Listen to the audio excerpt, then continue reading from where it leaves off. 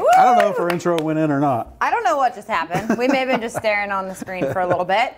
Um, it's one of those days, but Audio welcome, good? Waterbox Wednesday. Can you hear us? I see what's happening. Okay.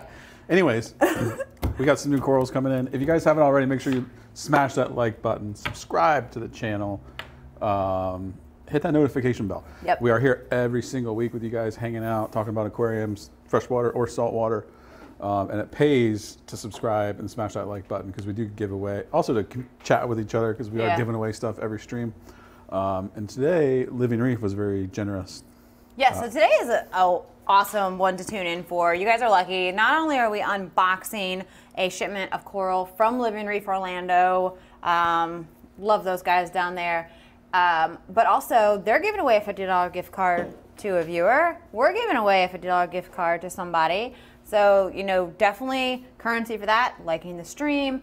Also, drop your questions in the chat because we are going to be doing Q&A as we have Yeah. time. Um, and it's also one of the currencies to win gift card is we like to see the people that are active in there asking questions, make friends, what's going on with your evening, um, all that stuff. So if you haven't, um, check out livingreeforlando.com if you're not in Florida and lucky Definitely. enough to have them nearby because they do ship corals and inverts um, all throughout the U.S. Keenan, do we need to drop that intro again? I don't know. I just feel a little. We're too far in now. We're committed. feel- All right. We won't. right. We won't drop it. I don't think anybody even noticed. yeah, they're Got good. people We just had tuning- us weirdly. It was definitely sitting on you guys. I don't know if the audio was going out, but it was definitely sitting Yeah. on you guys. Uh, we got Florida. People tuning in from Florida, Utah, Colorado, Toronto. Um, Okay, Utah. From Utah. Florida. someone just called me from Utah. Was it you? Oh God, stalking. Cool. We appreciate y'all being here. As always, like the stream. Put questions down in the comments because that's Yep. what we're here for. Um, and this is a pretty easy stream. We're just going to be on unboxing some pretty cool yeah. corals. So those who just joined, we are giving away a fifty dollar gift card to Living Reef, um, and then also one for Waterbox. So definitely get your questions in there. They're going to collect them throughout us doing the unboxing, and then we'll answer some questions afterwards. So uh, Living Reef sent us a box of corals for the Marine X 110. Arrived earlier today. We're going to unbox and put them into the Marine X this evening. You get to see um, them as we do. We haven't even opened the box yet. Yeah. So, all right, we're going to get head on over to. Too. Mention that we're giving away a fifty dollar uh, gift card for Living Reef? Yes, Yes, we did. twice. we, It might be a little bit low. We're having a rough day over here. It's going to be okay. Um, yes, so Living Reef gift card and Waterbox gift yeah. card. So if you want, if you guys want to win one, either a Waterbox gift card or a Living Reef gift card, engage with us. Uh, whether it's telling us where you're tuning in from, or if you're asking questions about the corals that we're getting, or about Living Reef, or about Waterbox, or whatever, um, just do it. all right, let's go to the Marine X and Yeah. do this. Okay. I'll be over here. No, no, you're not leaving. just kidding. I can see you from here, but no, I'm gonna come over there and check it out. what the? Uh, we're waiting for the signal for that camera to come in. Okay. Is it on at the top? It's just you, Rich. Yeah, there's one. Run This the is- show. Oh yeah. Hey guys, it's just me today. Um, I did want to mention something and I spaced it. Oh, this is actually I think the first time we're going over to the tank live. We haven't done that. In a Yeah, bit. yeah, most of it's been pre-recorded. Should I get back on the screen? Yeah, maybe. I'm back. Um, someone says, who is Living Reef? So, Living Reef is a store we have here in Orlando. Um, they're called Living Reef Orlando, uh, often referred to as LRO. So, but you can also find them online. So, if you've looked through past any of our live streams and records and stuff, we've done a lot with them. We've visited their farm. We've, you know, gone shopping there. They've been on here for numerous Blue Fridays with fragging segments and all kinds of other stuff. Um, you know, so they're really, really cool. You'll see us working more with them. But they do ship all throughout the U.S. So if you're looking for coral, we 100% can vouch they are amazing. Their selection's great, you know, and I do believe that they also ship inverts. You're good. All right, now we can go. Roger, I never forget to smash the like button, but I hope you guys did because it is one of the currencies to All win. right, we good? All right, so here is our box from Living Reef that arrived earlier today. They ship all throughout the U.S. You get to see a good example of how it's going to come shipped to you. So we're going to go ahead and just get this open Jess, up. I can watch you on the TV from over here. I don't. Weird, right? you don't have to turn your head. You can just watch me on the TV straight ahead. All right, so Living Reef Orlando. And of course, your stuff is going to be shipped in a styrofoam container, and they do ship year round, summer, winter, all of it. Nicely packed here. And get all that packing material out of the way. And here are a lot of our goodies. So we're gonna go pull these out one by one um, and then get them into the aquarium and also show you a picture from their website of what it's gonna look like because a lot of times when you unpackage a coral, it does not look exactly like it's going to. It's kind of shrunken in or stressed a little bit from shipping, and then it'll take time to expand. So we're gonna put them in, show you that, but also show you the reference photo from Living Reef of the actual coral. So this one here is a Space Invader chalice. Now we're, we're mostly focusing on adding more LPS to the Marine X110, so that is what they sent us.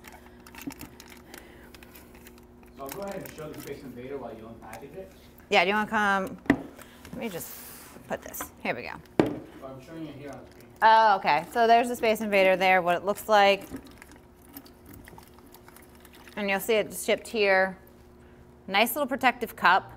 And this is, keeps it from like falling on its own flesh or getting smushed or stressed that way. It keeps it very protected in the bag for shipping. And that's something that you don't get everywhere. So here, I'm just gonna take the little frag out and go ahead and right here. So chalices tend to keep their color and look pretty much the same through shipping, which is great because they don't really have any large tentacles stick out. So this is gonna be a really, really nice, bright chalice, colorful eyes. That's gonna add some good pop of color onto the rocks here.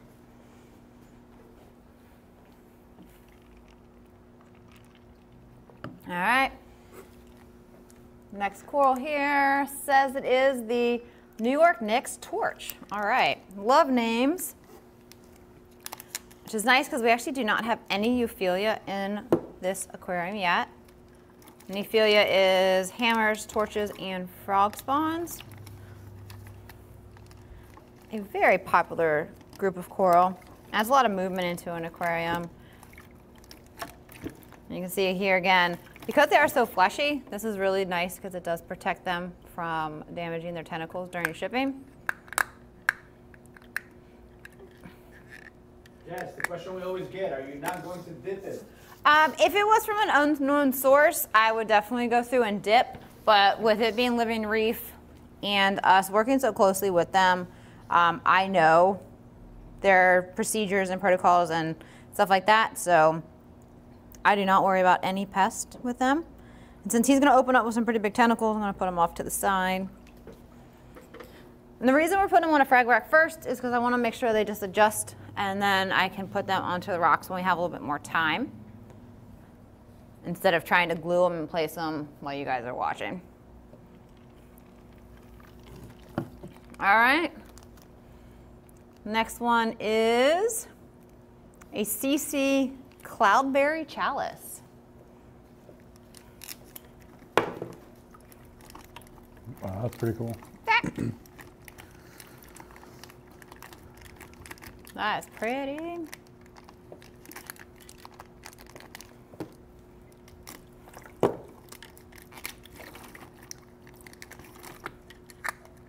All right.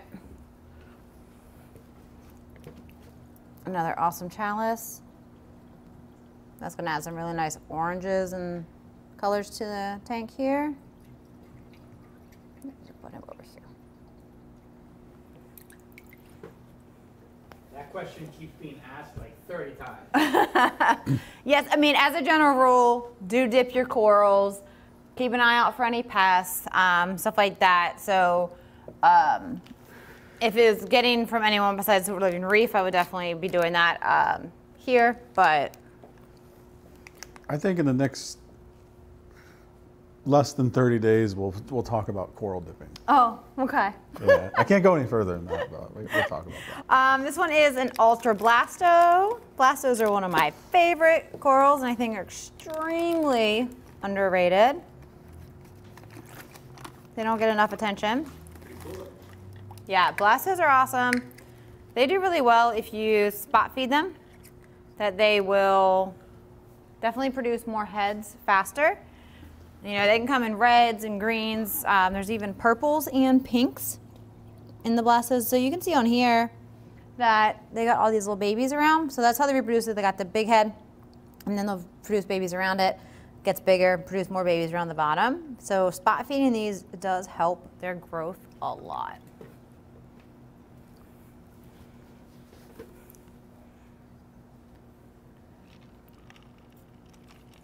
Are people upset about the dipping, or just wondering?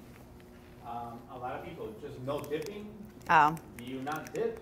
You're not going to dip? dip, dip, dip. Dipping, Dip, is, dip, dip. dipping is not recommended for your health. It's bad for your mouth. Um, okay, this I'm one talking is about a different kind of dipping. the obviously. Fascination Favia. Oh, that is cool. We'll go here. This should be one that shows pretty good color even through shipping. And of course that'll intensify. You can see this is really cool. All the oranges, pinks, greens, a lot of different colors. Just gonna keep laying them out here. Daryl says he's highly curiously upset. If you don't have a reliable, trusted source that you know very, very well, definitely do dip. Even if so, dipping will always be an answer is yes, you should. You know, your parents always say, do as I say and not as I do. Right, There exactly. Um, all right, this one here is a Raptor Favia. Oh, God.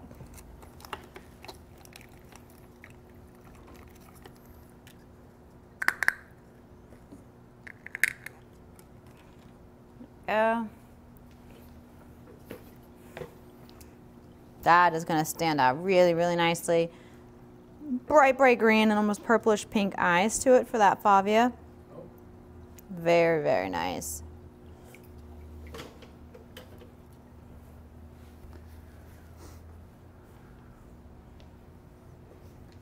All right, Someone, next. someone's getting a free frag rack promo right now. We've had that rack for years. this is Applejack's Bernardard Pora. I think. Bernardard Pora. I'm curious I'll know what that one is.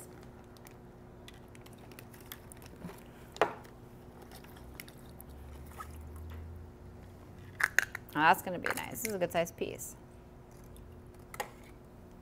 Look at it under the light here. So most of these are looking really, really nice out of the bag. You can see their color pretty well. So this one is all kind of sucked in, as you see from the photo that we put up there, is it will have like a fuzzy appearance as the tentacles come out.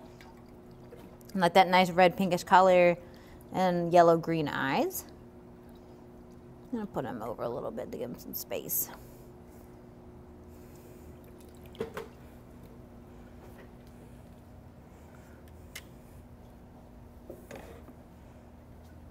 All right, next coral out of here is a blueberry acan. Acans are like uh, blastos, or I don't think you see them nearly enough. But same thing, spot feed them. They're gonna grow a lot better for you, get nice and nice and fluffy and grow more heads onto them.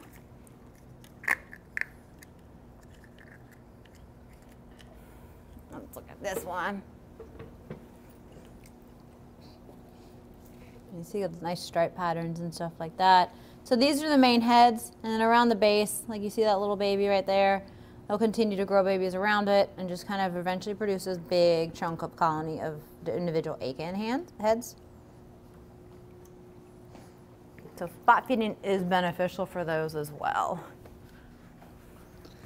One thing that people are asking is, uh, or mentioning is, it seems like a lot of them have never shipped corals to their house. Mm-hmm. But there's something that you guys got to remember.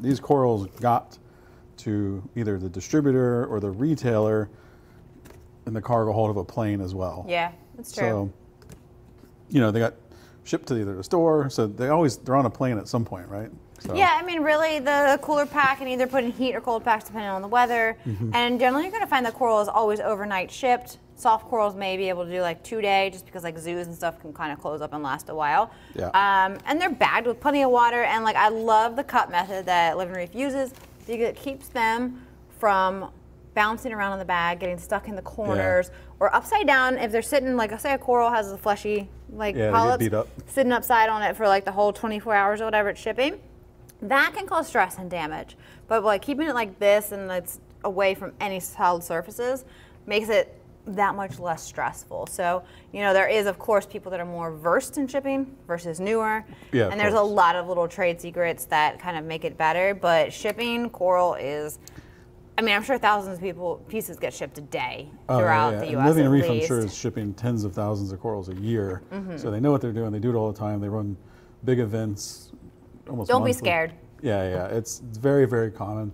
That's how the corals got here. They didn't, you know, Don't come from reefs in the US. no, they don't. And that's that's exactly what I'm getting at. That- even if these, a lot of these are aquaculture, Yeah. at some point they were on a plane to get here. yeah. You know, so I don't know what that says, but it's Berrywinkle something.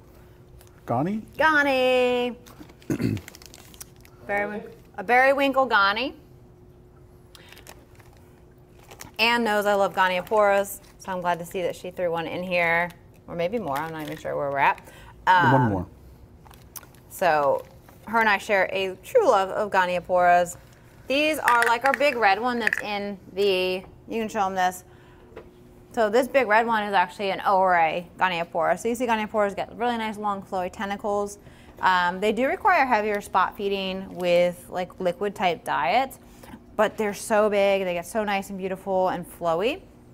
And then the cool thing is, this thing will come out with these long tentacles, but you can't tell because they actually can like fully suck into their skeleton. So you really can't tell what it looks like now. That's why I put the picture up. But this one will get nice and flowy long tentacles to it. Trying to make sure nobody messes with each other. There you go. I'll move them out a little bit. All right, next one. Prism hammer. Prism hammer, another Euphyllia for the tank.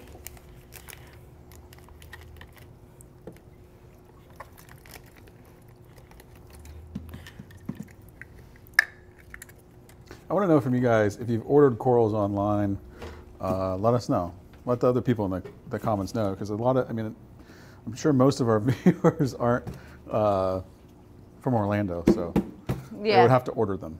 Yep. All right, Prism Hammer. He's all closed up. You can still that see that really nice reflective color that's going to come through on him as he puts all of his polyps out.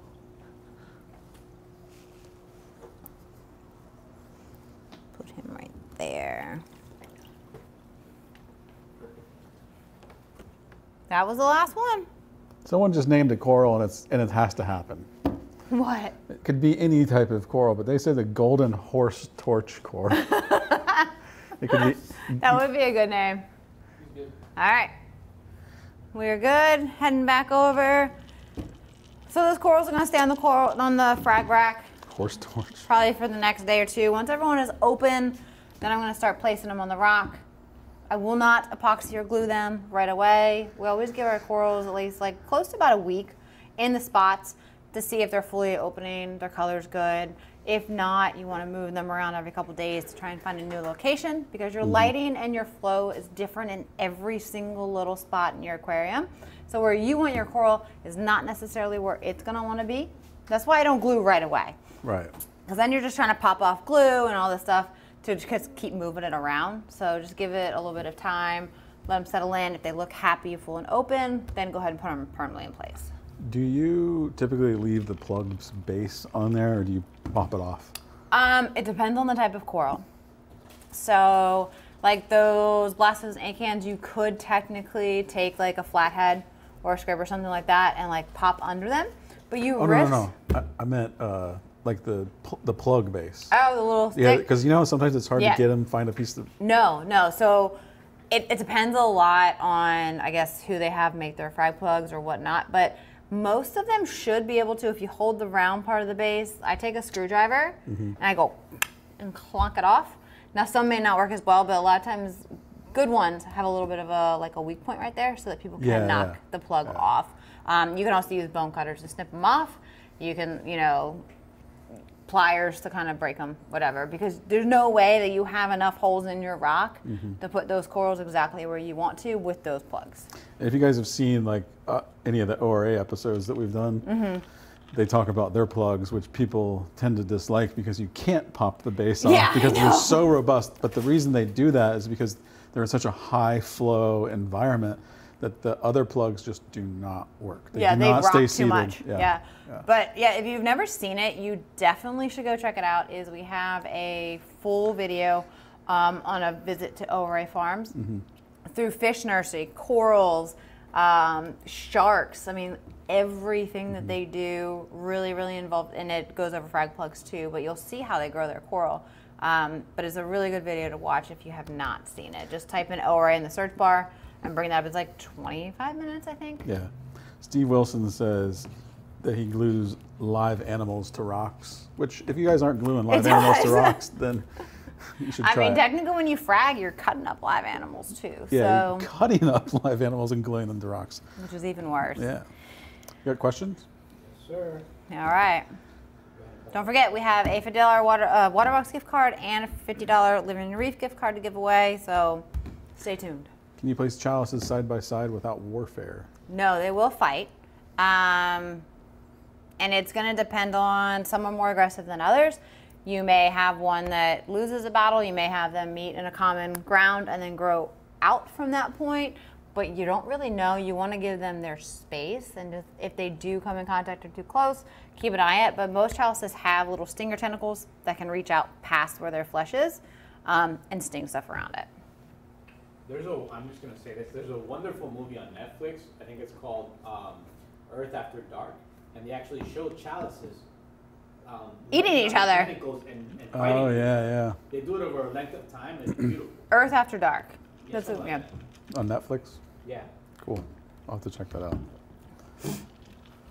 Bryson said he loves the box openings. They're usually really popular. Yeah. What wave makers are the best to use?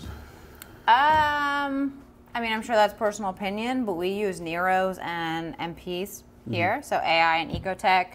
Um, they all work with the same app, controllable by wave patterns, speed, all of that. So it gives you more natural flow. I do say to avoid the ones that are basically stagnant all on, no wave functions, no pulsing, that kind of stuff, because you're not really recreating uh, the natural flow, and it's not keeping stuff suspended in the water column if it's always kind of the same.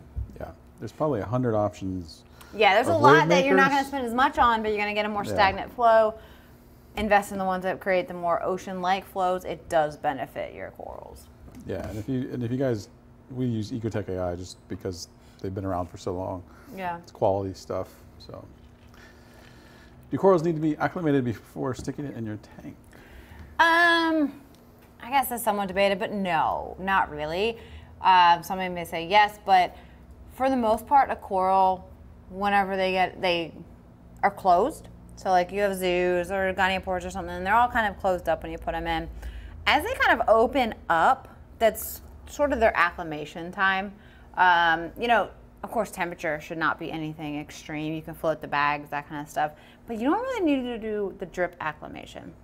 I think they feel kind of self acclimate to the conditions in the water. Yep. I glue clownfish to anemones. All right, Cole. That's one way if they won't host, you just glue them to it. Don't do this at home. Don't listen to that. Just a joke. Are clams hard to keep?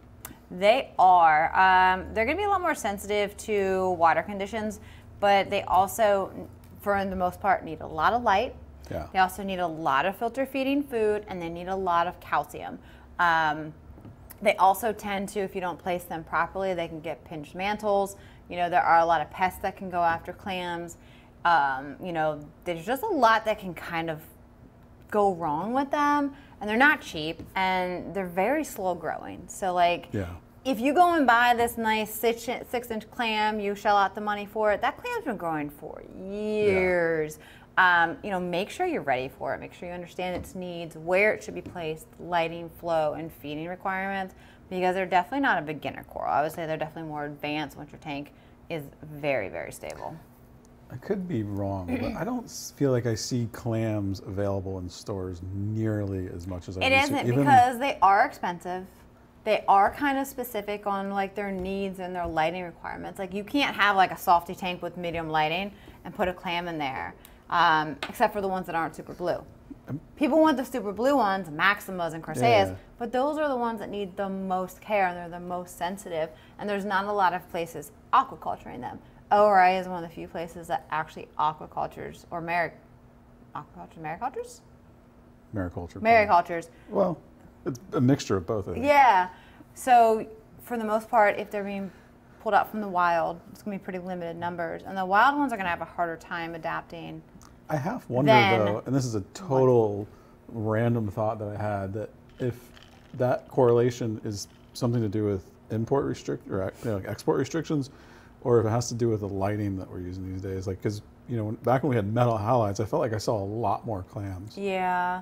And it could be a lot of import too, because like I said, you get a nice four or six inch clam, like that's been growing a long time. So it's they don't easily repopulate the Or reef. like a, I could. This is in that video I know Mm-hmm. with, with ORA, but like a one-inch maxima is like years, right? Like two Yeah, years, three four. years. I think we did go over that in the ORA video, or I think also, um, oh no, not the ORA video. It was one of our, I think, Blue Friday streams. ORA was one of them, and it was all about clams. Yeah. So definitely look up that one if you're looking into clams. Go back to it's a Blue Friday. I think it was called All About Clams or something like that with ORA. And we go through like looking at their facility and like how long it actually takes to get to a sellable size clam um, requirements and stuff like that. It, it's astonishing. Like it's not a like turn and burn like with most of your other corals. Yeah. Pretty wild. And more information on clams than you probably asked for. Can you add as many corals as you want at a time? Um, okay, so technically no, but sort of yes. If your aquarium is established, you know you're past your cycle, you've had fish in there, you have coral in there, the coral bio load that's added is so minimal. They don't make nearly as much waste as a fish does. Yeah. Um, so for your first round of coral, no, don't go add 20 corals into your tank as soon as it's done cycling. Once your aquarium is established, your fish, everything's good, your dosing's good.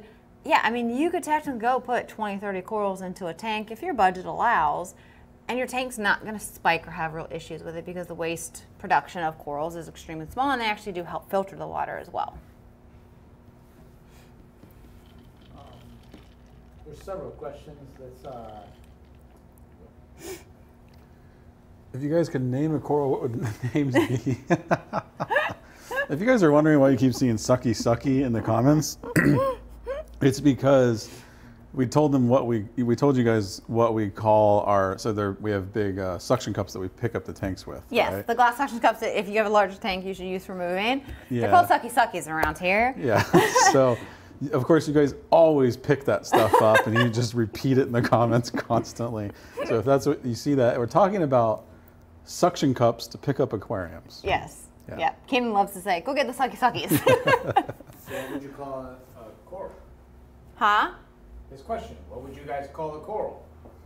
Can't put me on the spot like Uh, that. Golden horse. Someone already said it. I like that one. Yeah. Yeah, I got, Golden- I got nothing. I got one more question. Okay.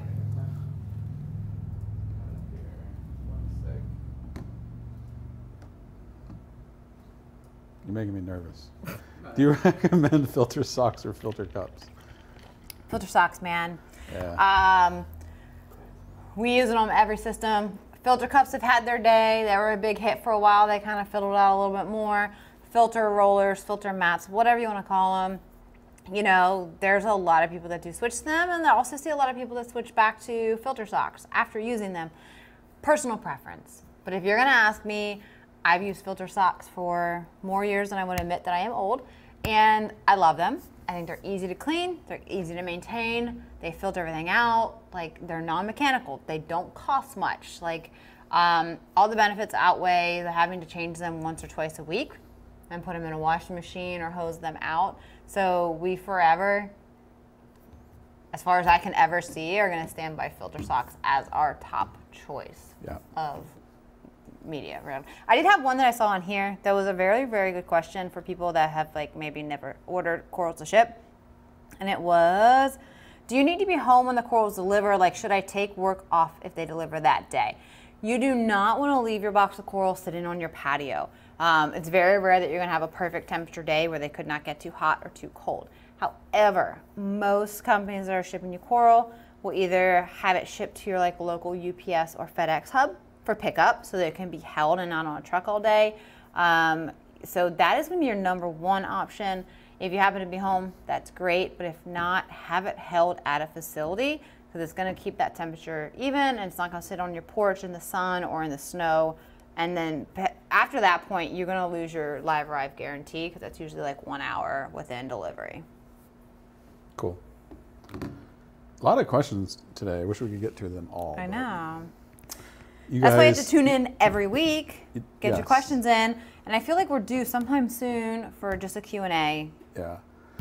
session. But you guys understood the assignment. You asked questions. I hope you all smashed the like button too. And subscribe to the channel. Yeah, and then we're gonna give away some gift cards. Yes, we are. We're gonna do the Waterbox gift card first. Okay, so we have a $50 Waterbox gift card. Ready? Winner is Christopher Cesares. I don't know if I said that right, but email winners at waterboxaquariums.com. We'll get you hooked up. uh, when you email, include the country that you're emailing from, so we can send you the gift card correctly, um, and we'll get that out to you tomorrow. And so awesome of Living Reef that they're giving away a $50 gift card to someone as well. Are we ready for that winner? Yeah, ready? All right. Nope. Yep. Winner of the Living Reef gift card. Brandon V. I'm not going to try to pronounce that. Email winners at waterboxaquariums.com. We'll get you hooked up. Yep. Email me. All I need is really just say that you're the winner, verification, um, and I will send the information to Living Reef, and they will email your gift card directly to you. Um, and then you can go shopping. And if you didn't win, just go check out Living Reef Orlando. Um, tons of corals online. They do auctions and reef to reef and all the different forums. Maybe not reef to reef. I don't know where, but um, check them out Yeah. because they are definitely have a ton of aquaculture coral to get to you. Absolutely. And um, are we missing anything? Um, well, something pretty major is happening next week, Yeah. but we cannot say what it is. That is true. You guys definitely should tune in next week. Um, mark cal- calendars for Wednesday, uh, the third. Yes, Yes. that sounds the, right. The third of April, which is next Wednesday at 6 p.m. We got a pretty big announcement that you guys are going to want to not miss. So yeah, so we can't tell that. you what it is, but we're just gonna say we're here. There's an announcement, and we better see you then. see you guys. Thank you all for watching. Make sure you smash that like button, subscribe to the channel, and hit that notification bell. And to learn more about Waterbox, visit waterboxaquariums.com. We're live every Wednesday at 6 p.m. Thanks for tuning in. See you next week.